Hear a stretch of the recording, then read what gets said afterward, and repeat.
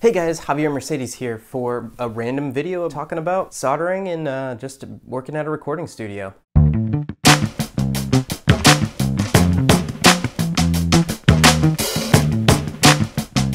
Here's just a quick video of me soldering a 48 channel patch bay back at my last job at Doppler Studios back in Atlanta.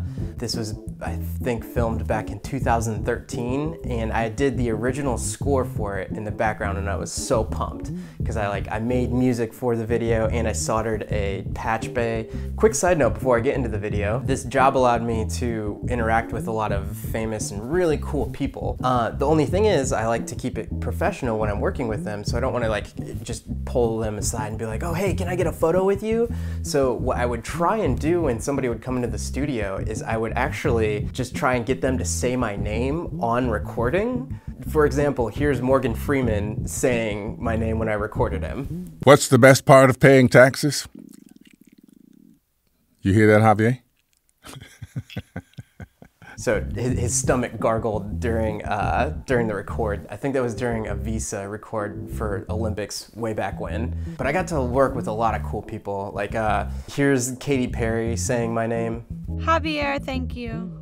I mean, through it all, I got to work with like a past President Carter recording his stuff. I got to spend a whole summer working with the Property Brothers recording their stuff. I got to record Dr. J's book. The last day, last day.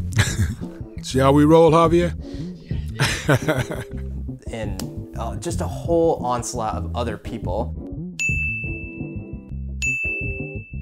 Great community, awesome place to work, really great time, um, and just great experiences in my life. And I'm so indebted to Bill and Joe and for hiring me and giving me the opportunity to grow there. It was such a great experience. Uh, the story behind this is that we had, uh, I believe Walk the Moon was coming to the studio to record an album with uh, Ben Allen and randomly I actually knew the bass player of Walk the Moon, Kevin Ray. He, sh he showed up to the studio and I was like, whoa, wait a minute, Kevin? Because I, I went to the same school as him and he was a couple grades above me at Ball State. Anyhow, that was a random story. I don't know how that ties into all of this, but because Walk the Moon was coming to record their album there, uh, we had to soup up our SSL board there. And Joe Neal, the head engineer, um, spent like a summer soldering this 48 channel patch bay and then he needed to literally take the XLRs and patch them into the solid state logic board, that huge board that we had in Studio E. So here's just a time-lapse video of me patching that board together before Walk the Moon gets to the, uh, to the studio. If you do like this video, don't forget to like and subscribe, and here we go.